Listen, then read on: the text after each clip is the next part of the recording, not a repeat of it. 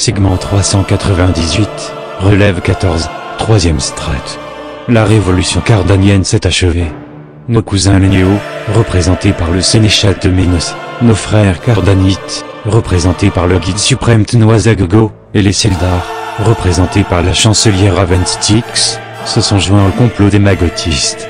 Le culte magotique, désormais dirigé par le grand dignitaire Kumites Praedial, se forgeait enfin sa réputation de guerrier craint et offensif.